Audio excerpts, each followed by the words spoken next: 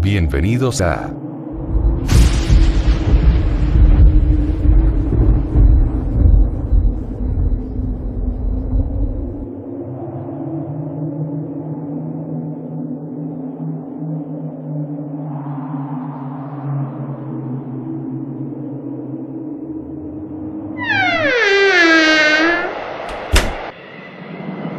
Hola, ¿qué tal? ¿Cómo están?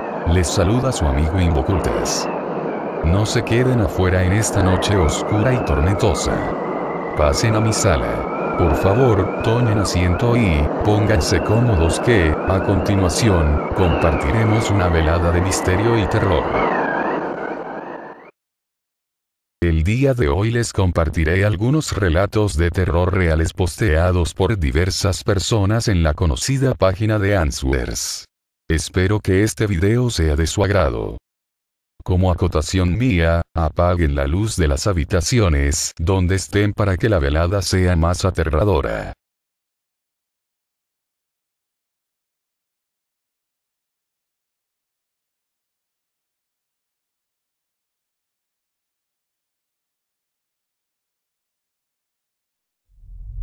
Venía de la casa de un amigo mío junto a tres personas más. Estaba anocheciendo. Veníamos con un balón de fútbol y uno de mis amigos lanzó el balón muy fuerte, por lo que fuimos por la pelota, cuando, a lo lejos notamos un cementerio que parecía estar abandonado. Nos dio miedo ir por el balón, así que decidimos irnos, pero como el balón era muy especial porque era un regalo del papá del amigo de cuya casa regresábamos, decidimos recoger esa pelota. De la nada, sale alguien corriendo, llorando y gritando y se metió en una tumba abierta y después que le alumbramos en donde se había metido, ya no estaba. Desapareció en cuestión de segundos. Nos dio mucho miedo y ya no volvimos a pasar ahí de noche. Yo fui a una casa embrujada y en esta empecé a grabar con mi cámara. De repente me pareció ver una mancha que se atravesó en la muralla a mi izquierda.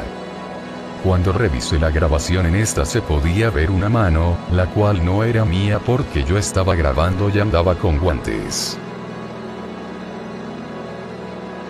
Esto fue donde solía vivir antes, un departamento y yo vivía en la planta baja. Yo me encontraba en la sala de mi departamento viendo la tele. Ya estaba anocheciendo, cuando, de repente, empecé a sentir como que alguien me observaba y, pues, yo no hice mucho caso a eso y seguí viendo la tele. Después, empecé a sentir más esa presencia, pero como de esas miradas que son penetrantes, y de reojo vi hacia la puerta de mi departamento y vi la silueta de una señora como de unos 40 años, y pues ahora sí volteé a ver bien a la puerta, y había una señora como de unos 40 años con un rebozo negro, y su cabello era muy corto. En el momento que la vi salió por la puerta pero no de frente sino de lado, así como la había visto, sin siquiera mover los pies. Lo más raro de todo fue que no le vi el rostro para nada ni sus pies. Una vez, hacía una tarea solo con un amigo en mi casa, que tiene alarma.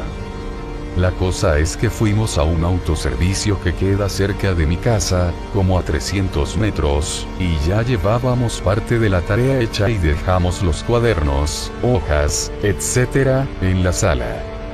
Lo raro fue que cuando regresamos todo estaba en el suelo y eso que no duramos ni 5 minutos y nos saltó la alarma y no teníamos ventilador ni nada.